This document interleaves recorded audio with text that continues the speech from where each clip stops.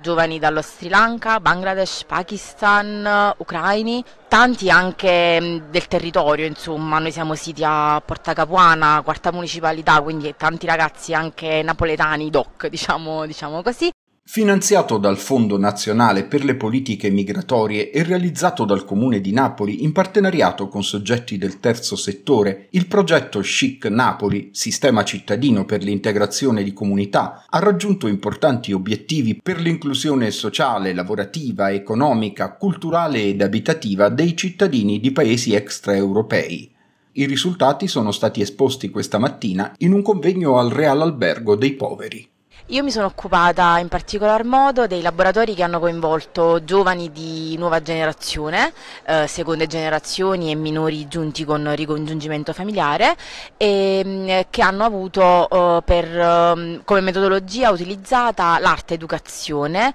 eh, per poterli far socializzare e ehm, permettere loro di scoprire proprie potenzialità, talenti e competenze. Grazie al progetto SHIC abbiamo sicuramente potuto incontrare e supportare eh, persone con background migratorio, ma quello che per noi è particolarmente rilevante sono stati i due anni e più di sperimentazione con i CPIA, con i centri provinciali per l'istruzione degli adulti, la scuola pubblica italiana e gratuita per adulti. Abbiamo potuto, eh, attraverso una cabina eh, di eh, regia operativa eh, composta da eh, studenti e studentesse con background migratorio, docenti, staff CPIA, mediatori linguistico-culturali,